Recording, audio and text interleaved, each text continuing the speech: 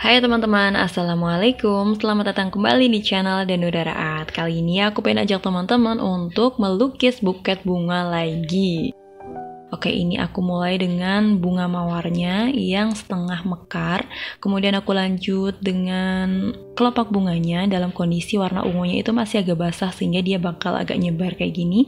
Kemudian lanjut ke bunga yang kedua ini sama kayak yang tadi, bunga mawar setengah mekar tapi dengan warna yang berbeda.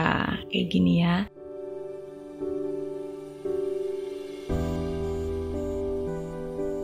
Kemudian lanjut bunga yang ketiga, ini bunga yang mekar dan posisinya itu agak menghadap ke atas. Kemudian lanjut ke bunga berikutnya, ini posisinya menghadap ke depan. Jadi kita bisa variasikan ya, mau menghadap ke atas, kemudian ke depan gitu. Kemudian lanjut ke bunga mawarnya, ini aku bikin yang mekar tapi menghadapnya juga agak ke atas gitu dan bunga selanjutnya. Kemudian ini aku juga kasih bunga yang agak memanjang. Jadi biar komposisi buket bunganya itu bervariasi. Ada yang kecil, ada yang memanjang, ada yang enggak panjang-panjang. Kayak gitulah pokoknya. Ini aku kasih juga bunga yang memanjang di sini. Kemudian ini aku kasih bunga mawarnya lagi. Bunga mawar setengah mekar atau agak ngucup-ngucup gitulah ya pokoknya. Nah, kayak gini. Oh ya, teman-teman, ini untuk catnya. Aku itu agak lupa ini aku pakai cat apa karena aku tag videonya itu udah lama banget dan baru sempat ngedit. Ya, jadi aku agak lupa catnya ini cat apa. Tapi kalau nggak salah sih, aku dulu pakainya uh, seputaran Mijelo ya, karena aku seringnya pakai Mijelo juga sih kalau untuk ngelukis-ngelukis kayak gini. Oke, ini aku kasih bunga yang bulat-bulat gitu kecil-kecil biar lebih mempermanis buket bunga kita.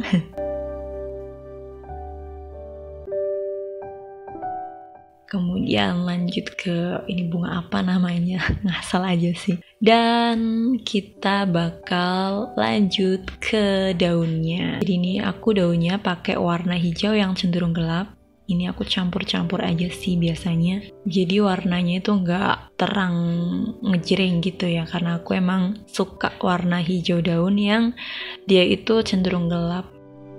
Untuk daunnya kita pun juga bisa memvariasikannya.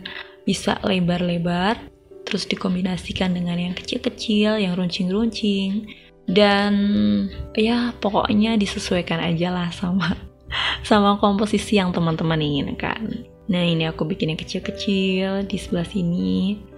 Kecil agak memanjang gitu. Bentuknya juga bisa divariasikan ya nggak cuma satu bentuk.